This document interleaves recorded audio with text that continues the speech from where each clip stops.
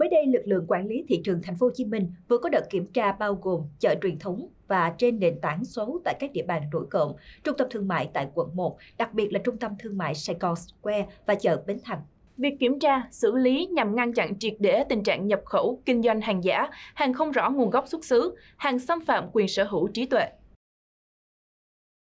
Lực lượng quản lý thị trường thành phố Hồ Chí Minh cho biết, đơn vị vừa có đợt kiểm tra đột xuất các cơ sở kinh doanh tại chợ Bến Thành, thành phố Hồ Chí Minh và phát hiện nhiều vi phạm. Qua kiểm tra 6 cơ sở kinh doanh đồng hồ, túi sách tại chợ Bến Thành, lực lượng chức năng tạm giữ 294 đồng hồ mang các nhãn hiệu nổi tiếng như Rolex, Cartier, Chanel, Patek Philippe, Casio.